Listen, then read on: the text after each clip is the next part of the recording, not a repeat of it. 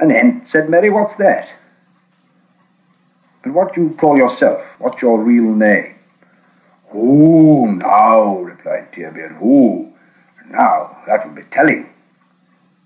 Not so hasty. But I am doing the asking. You're in my country. What are you, I wonder? I cannot place you. You do not seem to come in the old lists as I learned when I was young. But that was long, long time ago. And they may have made new lists. Let me see, let me see. How did it go? Learn now the lore of living creatures. First name the four, the free peoples. Eldest of all, the elf children. Dwarf the delver, dark are his houses. Ent the earthborn, old as mountains. Man the mortal, master of horses. Hmm. Hmm, hmm. Beaver the builder, buck the leaper, bear be hunter, boar the fighter, hound is hungry, hare is fearful. Mm-hmm. Mm, yes, eagle in eyrie, ox in pasture, hart horn crowned, hawk is swiftest, swan the whitest, serpent coldest.